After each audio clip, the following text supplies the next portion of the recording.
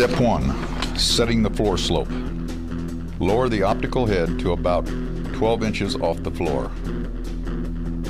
Level optical head by rotating eccentric wheel at rear base until level vial registers level.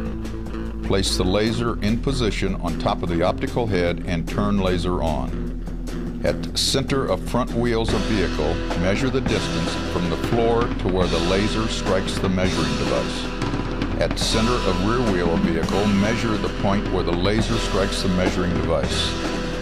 If the measurements are not the same, the floor has a slope and adjustments are needed.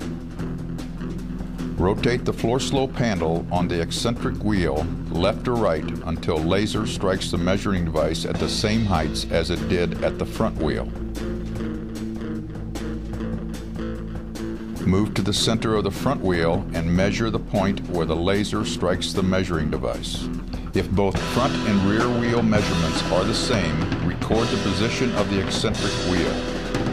If measurements at the front and rear wheels are not the same, note the front wheel measurement. Move to the center of rear wheel and rotate the eccentric wheel so laser strikes the measuring device at the same height as the front wheel measurement. Then measure the height of the laser at the front wheel again.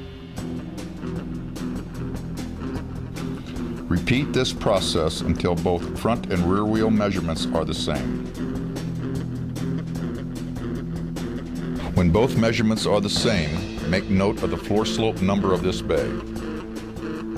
Turn off the laser and store in a safe place.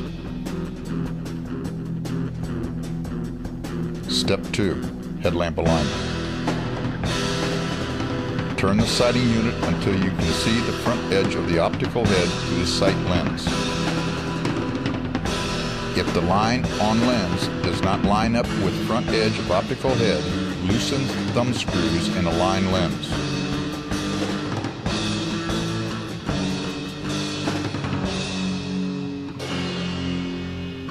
Tighten thumb screws. Position the SCA1 approximately 12 inches in front of the headlamp to be aligned. Set the floor slope to the proper setting for the current bay. Align SCA1 to vehicle using a sight window and two common points on the vehicle. Turn on the headlamps and move optical head up down, left and right until the light is somewhat centered on the optical head lens. Adjust the headlamp until the pattern on the ISO screen is in proper position. Proper position is centering the most inner area of color over the appropriate white dot of low beam or high beam. Repeat the alignment process for the next headlamp to be aligned.